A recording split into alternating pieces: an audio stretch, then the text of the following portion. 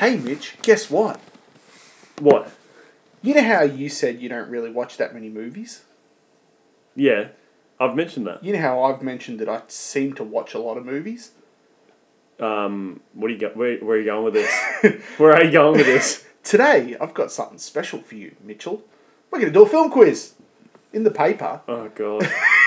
Are we really? yeah, in the paper, I found another little hidden quiz. For some reason, this January 7th one has got heaps of different quizzes. This has got another one called Have You Been Paying Attention, which neither of us have, so we're not going to do No. that. So another one called Pick the Song and the Artist, and every song made in the last 20 years is garbage. But it's got a film quiz. So this one's But heavily, thank God for dance music. this one's heavily skewed towards me because I like movies, and yeah, fun. So we're gonna Great. All right. Yeah. Well, that sounds lovely. Yeah. I can't wait to just get destroyed at this quiz as well. it's we're going to evolve this. Now, what I'm going to end up doing in the future, we're going to have um, quizzes where I'm going to study all the answers and just know them, just so I can get Just 100%. demoralize. Maybe you can be like the um like the audio pre-suicide that. um, but before we get into that, have you been doing anything good lately? Um.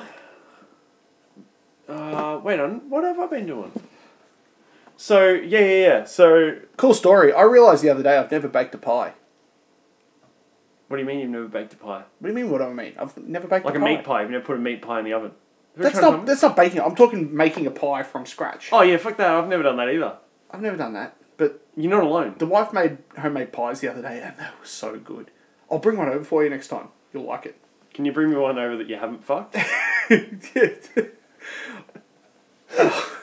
You're a horrible. Is that person. alright? You're a No, hor- like, is that cool if you just bring me one over that you haven't fucked yet? no, that's not cool. I've fucked all of them. How do you think you make pies? As I said, I've never baked a pie. I'm not really sure what the procedure is. Um, and but were you just standing there with Haley just going, so when do I put my dick in the pie? when I was actually asking you, what did I ask you? Did I say what have you What been I've been to? Yeah. Have you done anything good lately?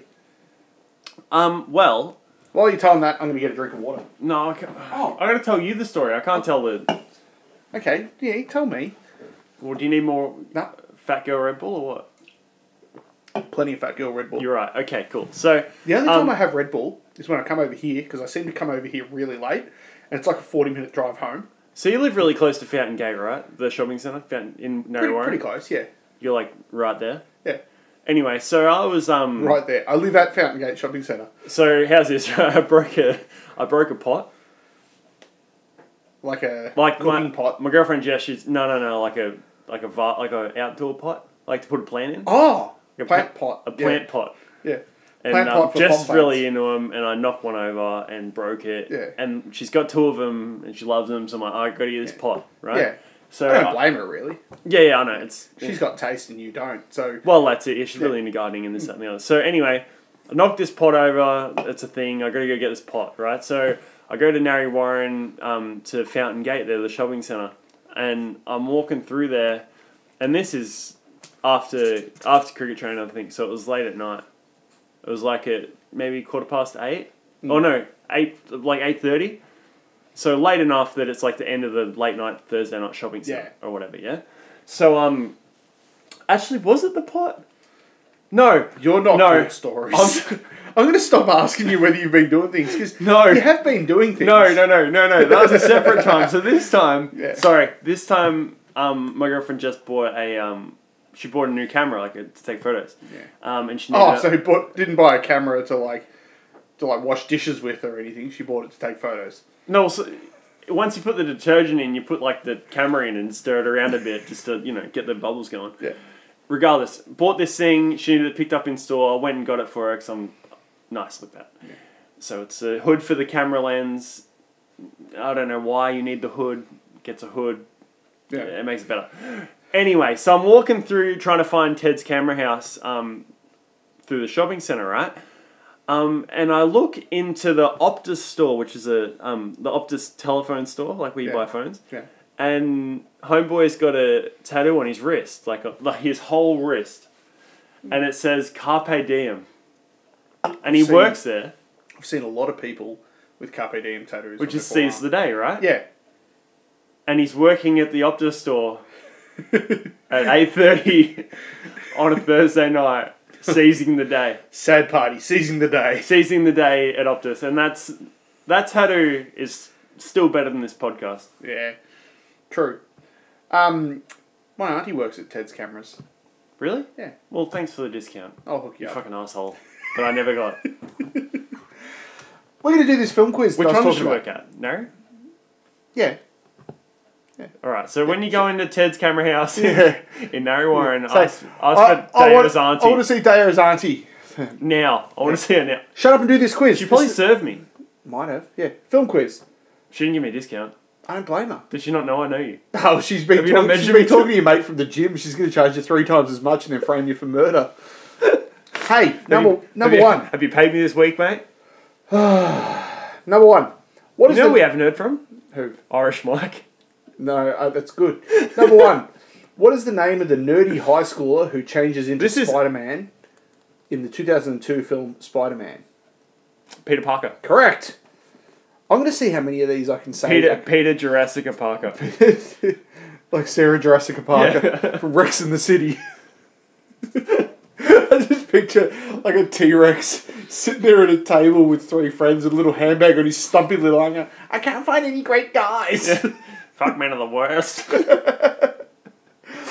um, Fuck those raptors are such bitches. number two. Who directed the 2005 film The Chronicles of Narnia, The Lion, the Witch, and the Wardrobe? Uh, is it M Night Shyamalan? Um, I don't think so. Oh. I don't. I don't know who it is. Andrew Adamson. Uh, Don't know who that is. this is hey this pod this one here this podcast is definitely screaming the answers into yeah. your phone. Oh yeah, there'll be a lot of people who know these things, and we're going to be terrible. Number three. Who wrote and sang the theme song to the 1984 film Ghostbusters? Oh, it's it was like a famous song. Like it was on. Yeah, I know the song. Do you know the person? Nah, Ray someone, I think. When something strong in your neighborhood. Something strange, not something Yeah, strong. no, it's strong. it's, it's when there's something strange in your neighborhood. I know I don't do song lyrics. I don't get them, Uh. but I'm sure. uh, Ghostbusters. Well, that's right in the title. So, yeah. um, oh, Ray Parker Jr. I wouldn't have remembered that. Number, Ray, Ray Jurassic Parker Jr. number four. British actor Kenneth Williams was famous for his comedy roles in the majority of what titled films? Kenneth Williams. Never. Heard, I don't think I've heard of him. What titled films? Uh, was he Ernest? Like Ernest goes to movies, Ernest goes to Mars, all those Sorts I've never of seen any of it. Oh, I know right. Bill and Ted. before my time. Oh, the Carry On films. I don't know what that is. No, I've never seen them. Carry on like carry like carry a bag on, or I think carry so, on yeah. like I think carrying on like an idiot. yeah, right. Carrying on like a pork chop. like a fucking chucked rissole. Number five. Who directed the 1986 Aussie film Crocodile Dundee? Who directed it? Yeah. Paul Hogan was in it. Yeah. Why can't it be who was Paul Hogan in the thing? It's Paul Hogan. Yeah. Um, What? I, I don't know who, was direct- Crocodile Dundee. Paul Hogan. I've answered the question. Who Yeah. directed it? Who cares? I don't. Uh, Steven Spielberg. I have no idea. Let me have a look. Peter Faiman. Peter Faiman. He's Number not that famous. Number six. Which Australian actress stars as shopaholic Rebecca Bloomwood in the 2009 Confe- Confessions of a Shopaholic? Who stars in that movie? Yeah. Uh, redhead lady ing ads. Yes. I'll give you Isla Fisher. Isla Fisher. Yeah. Is that the answer? That is, I, I'm sure it is. I remember seeing it. Redhead Isla lady. Fisher, yeah. Redhead lady ing ads. I knew who you meant. Number seven. Which character, played by Alyson Hannigan in the 1999 film American Pie? American Pie. We were talking about pies. Yeah, you were fucking them all. You're, you're a dirty person, Mitchell. Um, regularly said this one time at band I'm the I'm dirty person. What was her character's name? Oh, the characters. You need the character's name Yeah, about the flute. yeah. Flute woman. Ah, what was her name in that stupid movie? Um, Marcy. Molly. no. Um. Ah, this is really going to annoy me because I want to Google it. I, don't Google it. I've got the answer. IDMB. The answer IDMB. IMDb. Internet Data Movie Base, IDMB. um, oh, what was her name? Um, what was her name? You're listening to the um, Daniel Redivo Thinking podcast, where Daniel Redivo just sits and thinks for 10 minutes about who the answer It's really annoying. I can't remember it. Z- uh, I can't remember her name. No. I know I know it, and it's really going to piss me off. Uh, I wasn't Glenda. Um, Michelle. I knew her name was Michelle, but I couldn't remember it, so I'm not giving myself that one. Number eight. What model car did Frank Bullitt, played by Steve McQueen, drive in the famous car chase in the 1968 film Bullitt? Um, I believe it was a Thunderbird. Yeah, I can't remember if it was a Mustang or a Challenger. Dodge Challenger. yeah, something with Dodge. I think it was a Mustang. It was a Dodge with a big wing, wasn't it? No, I thought it was a Mustang. Oh. I think the Bullitt car was a Mustang. Wait, let me think. Again, you're listening to the. I think it was a Shelby Mustang. I don't know. I can't remember. I can't. I don't know either. Oh, Mustang. It is a Mustang. Cool. How do you know Uh, that? Have you seen this movie? No, I remember just seeing the car. Like we do Oh, a lot of stuff for Mustangs at work, and people talk about Bullitt Mustangs. So, number nine. In the 1994 film The Adventures of Priscilla, Queen of the Desert, what name was given to the bus when it was christened with the breaking of a bottle of champagne over its front bumper? Priscilla. I think it was Priscilla. I think the bus was called The Priscilla. bus is the bus is Yep, the Queen of the Desert. it is Priscilla. It is Priscilla. Yep. Number 10. Which Do you, US. um, just a quick one on movies. Do you? I don't know why, but I get a little bit like. I get like a sense of yes, like when I hear them say the name of the movie in the movie. I do that as well. I really Yeah. like. Like it. That's like. Do you remember the thing in Family Guy where Peter Griffin mentions about when he hears the name of um, a movie in the movie? No. Ah, it's really good. Oh, so he has it. Does a bit about it. Like, yeah, a bit about it. does a bit about it. So we're about 10 years behind the eight ball here. Oh, I really like it when that happens. I do happens. I, too, mean, I really like it when that happens. I have the same thing when I watch, when I listen to um, Tofop with Wil Anderson and Charlie Clausen. I listen to that, like they'll have the title, kind of like what we do. Like they'll pick something out of the podcast with the, with the title and have the name of it.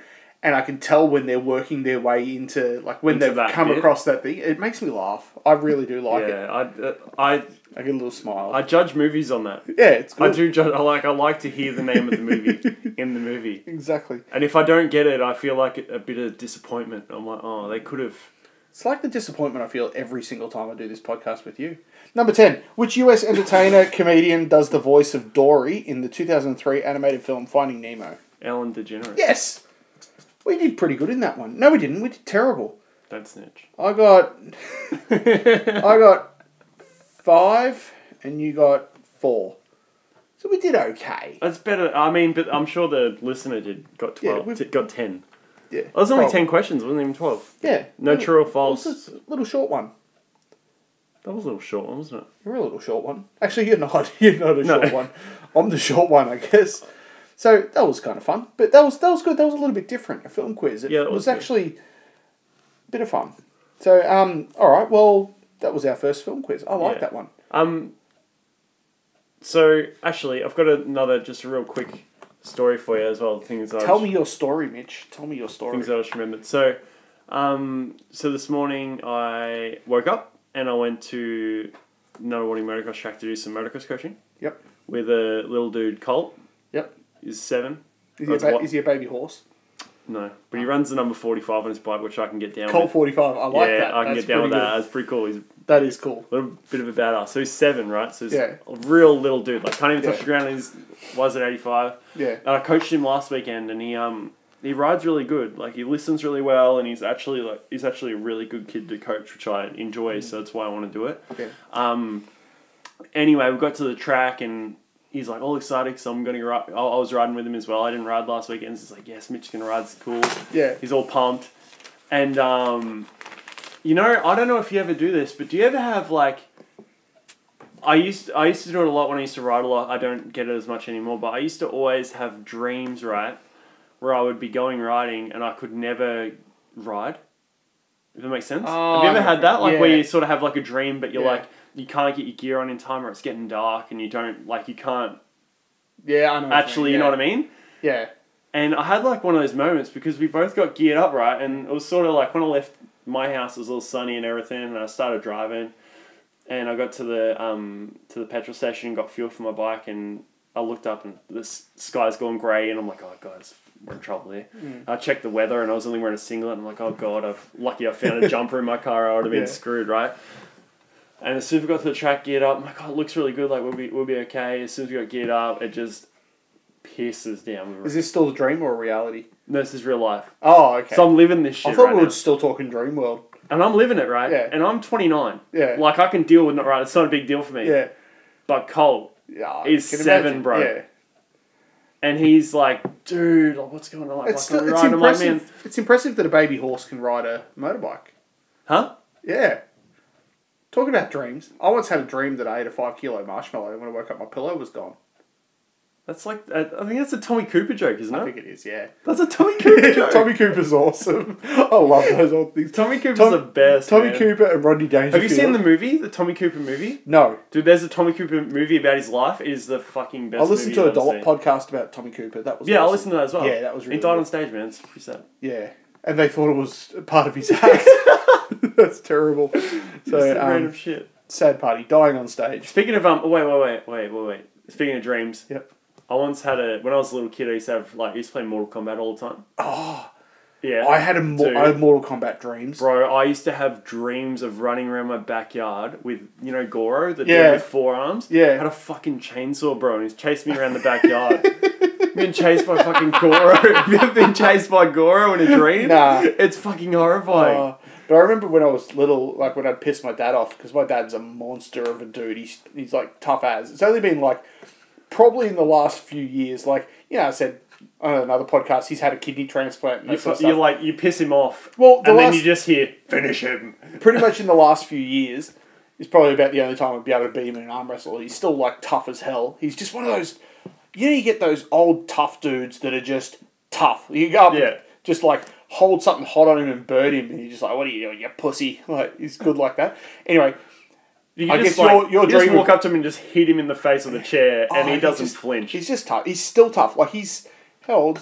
Silly old prick. He's 50, uh, 64 and he's still tougher than anyone I know. It's just funny. But Yeah. yeah, so the dreams about Goro chasing me around the backyard, like if I pissed my dad off, I'd have a dream that night about that. And the old man never hit me or anything. Goro like- or your dad chasing with a chainsaw? my dad, not chasing me with a chainsaw. horrifying. Dad was a tree lopper though, so he had a lot of chainsaws. Maybe he's Goro, but No, he never used a chainsaw. He remember- just ripped him out with his hands. I remember, like, if I pissed him off, if I did something stupid, which was all the time, because I was an idiot, still am. What And, mean um, was? exactly.